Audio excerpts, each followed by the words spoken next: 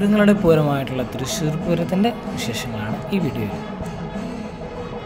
കാണുന്ന പോലെയൊക്കെ തന്നെ വെടിക്കെട്ടിനായിട്ടുള്ള കോപ്പുകളൊക്കെ നിറച്ച് വെച്ചിരിക്കുന്നതായിട്ട് കാണാം.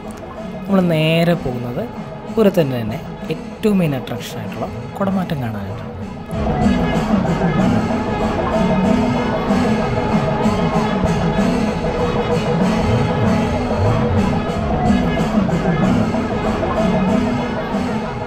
ഇനി അവിടുത്തെ ഒരു പ്രത്യേകത എന്നുള്ളത് നമ്മുടെ കൂടെയുള്ള ഗസ്റ്റാണ് ജർമ്മനിയിൽ നിന്ന് ആളെന്ന് ജസ്റ്റ് വന്നിട്ടുള്ളൂ കേട്ടോ ആനകളെ ഭയങ്കര ഇഷ്ടമാണെന്നും കുറേ ആനകളെ തൊട്ടടുത്ത് കാണണമെന്നുള്ള ആഗ്രഹത്തിലാണ് ആളും വന്നിട്ടുള്ളത്.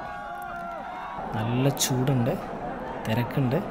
എന്നിട്ടും ആൾ ആനനെ കാണാനായിട്ട് അടിപൊളിയായിട്ട് നിൽക്കുന്നുണ്ട്. കൂടുതലും നമ്മുടെ ആൾക്കാർ നന്നായിട്ട് തിക്കി തിരക്കുന്നുണ്ട്.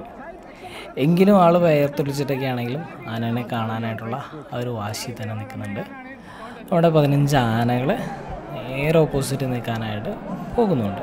അതിനെ ക്ലിയർ ആയിട്ട് കാണാനായിട്ട് പറ്റി.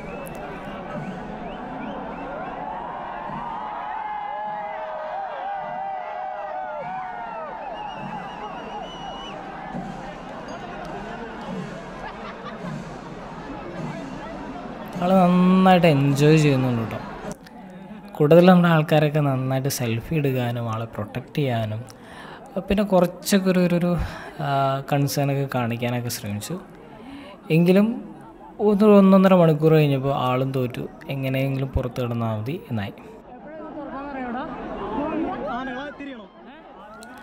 ഇനി എന്നെ അതിശയിപ്പിച്ചിട്ടുള്ളൊരു കാര്യം ഇത്രയും തിക്കും തിരക്കും ചൂടൊക്കെ ഉണ്ടായിട്ടും ഒരു എട്ട് മണിയായപ്പോൾ ആൾ പിന്നെയും പറഞ്ഞു നമുക്ക് ഒരു ചാൻസും കൂടെ ഉണ്ട് തൊട്ടടുത്ത് കാണാനായിട്ട് സാധ്യതയുണ്ടെങ്കിൽ പറയാൻ പറയും.